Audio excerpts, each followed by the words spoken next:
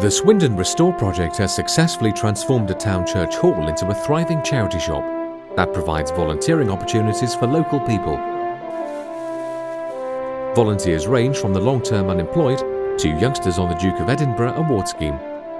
All take their turn at St John's Church Hall to sort, restore and resell donations of furniture, clothing, books, DVDs and videos and bric-a-brac.